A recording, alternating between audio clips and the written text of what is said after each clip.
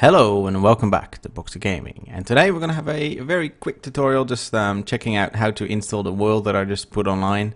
Uh, I had some questions on how to do it. It's, it's, it's very simple. So first you download the world, right? So it's a zip file. So all you do is uh, extract it. Um, if you normally, if you have Windows, like no WinRAR or anything, you can just open it with a Windows Explorer as well, right? So you get this folder here. Then you find your Feed the Beast folder. And if you don't know where that is, uh, simply open the launcher, go to options, and it'll be here under the install folder.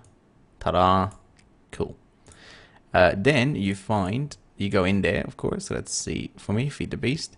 You go into Direwolf 20, Minecraft, saves, and then you just copy this folder over. Now, because I already have a Boxer World, um, I'm just going to have to rename it, but you, well, unless you have the same world name, but uh, normally you wouldn't have to do that. So let me just close this. Let's rename this to Boxer World blah blah. And we copy that in there. Now you don't have to do this. I'm just going to do this because it's a bit easier to uh, to manage for you guys. So I'm just going to remove myself from the server so that if I spawn, I'll spawn in the same place as you normally would. Uh, actually, I, I'm still going to spawn somewhere else, so doesn't matter. Right, so then uh, you're pretty much done. All you do is launch um, Direwolf 20's pack. Boom. Let it load for a bit. Uh, still wishing you could skip that, even though it's only a second or two, but that would be the best thing. Cool.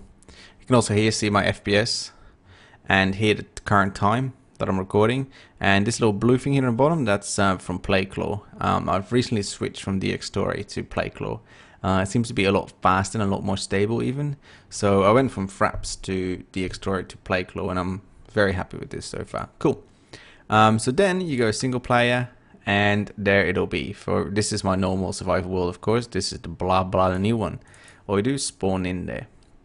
Now you will spawn quite far from my house. You'll actually spawn quite close to my old house. Um, which is interesting. Um, so you'll be there, about 850 meters, right?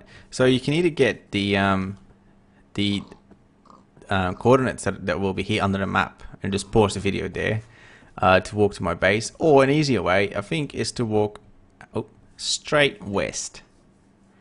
Because uh, as you can see now, if I'm pointing at my old house, it's pretty much directly east of my current house. So if you walk straight west, uh, you'll eventually get to this village. Pretty cool. Hey, of course, you can also use the coordinates. It's pretty simple.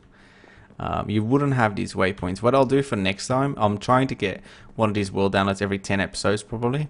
Um, I'll make some sort of path, and then later on we'll make a teleporter, I reckon, because those are cool.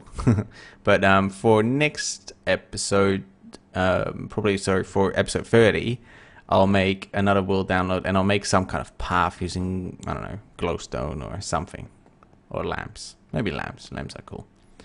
Right, so that's about it. Thank you all for watching. If you have any questions or if something doesn't work, let me know. Um, they're usually easy to fix. It's quite a simple process. Cool. I will see you next time.